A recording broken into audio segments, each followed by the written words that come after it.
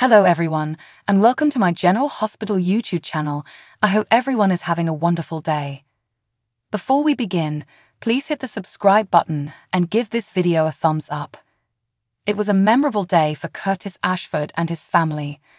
The General Hospital recap for Tuesday, January 24, 2024, sees Curtis receiving positive news from his doctor, even if everything did not go as planned.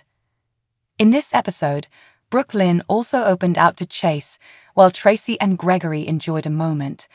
Jordan had quite the story to tell as Anna worried about her pal. In addition, Finn expressed his feelings, and Scott offered Lucy something to ponder about. Now let's delve a little deeper into the details. The Ashfords were on edge as they waited for the doctor to deliver Curtis, Donnell Turner's, test findings.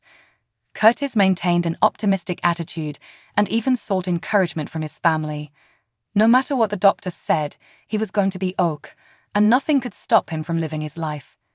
Finally, the doctor arrived and started his examination. The doctor poked him with a pin, and while nothing happened to his left foot, his right foot felt it. While this didn't guarantee he'd walk again, it offered everyone hope. Previously, Trina was concerned about Paris she spoke it out with her mother. Portia was nothing but supportive, even though she was traveling with Spencer. Meanwhile, TJ was worried not only about Curtis, but also about his mother. Anna showed up looking for Jordan. They hadn't seen her since the day before, when she received her hot tip. Thankfully, Jordan arrived unharmed just as they were ready to call the cops. To TJ, she dismissed it all as part of the investigation, However, when she was alone with Anna, she acknowledged to being abducted by the FBI and urged to back off. Strange, right? Even stranger was when the agents gave her a talking to and then abruptly backed off, sending her home. Anna offered to help figure everything out. Finn and Liz were also present at the hospital. She encouraged him to attend a NA meeting and deal with his stress and emotions, which he did, she also had the opportunity to discuss her own through conversations with Portia. Brook Lynn and Chase spent the entire time practicing axe throwing. BLQ was really good. Her trick, pretending that the aim was Lucy's face. This odd admission cleared the path for Brook Lynn to tell Chase everything that happened at Deception. Lucy attacked Tracy, and BLQ will not tolerate it. Her current mission is to take Tracy down. Chase did not like the sound of that, but he liked the idea of getting intimate with his fiancée later. Lucy and Tracy were still at the restaurant, playing their clever little pranks.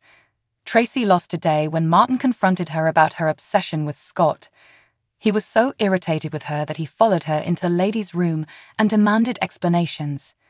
When she refused to give over the information, he stormed away and refused to take her calls.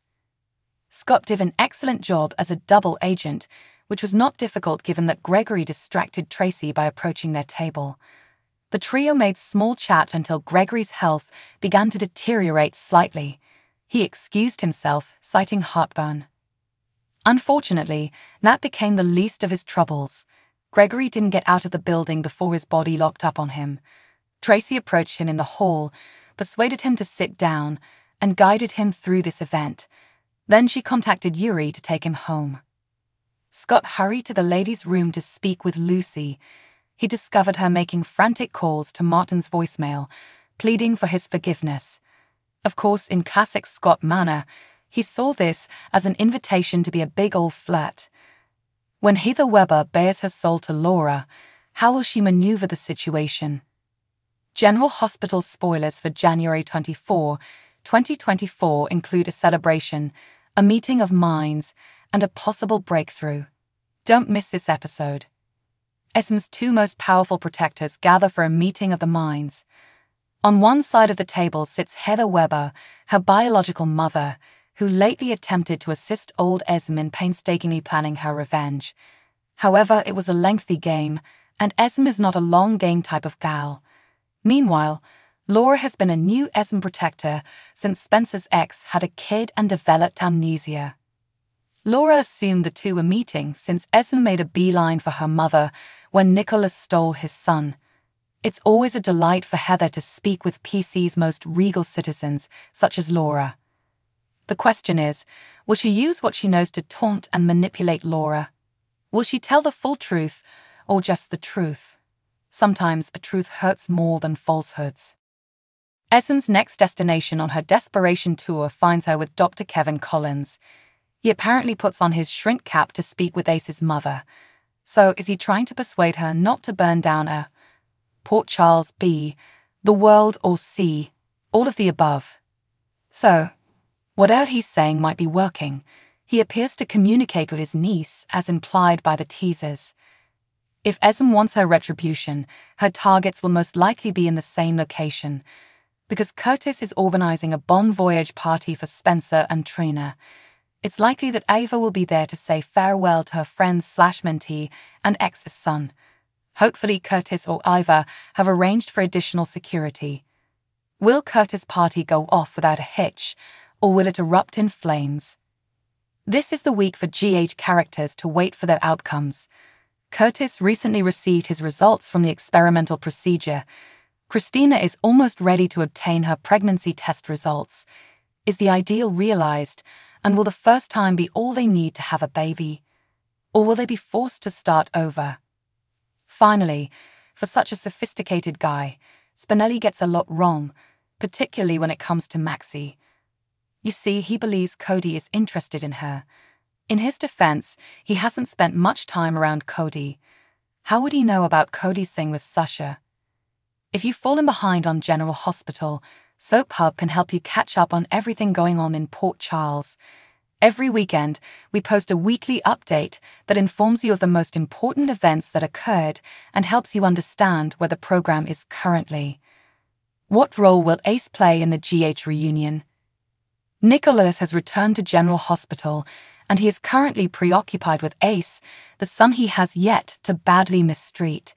But there is still Ava Jerome. Yes, they were divorced at the time of his death. And yes, Ava played a significant role in his death. However, there was a lot of unfinished business between them. As in the romantic sense, could they be drifting back towards one another? Nick didn't just hook up with a teenager.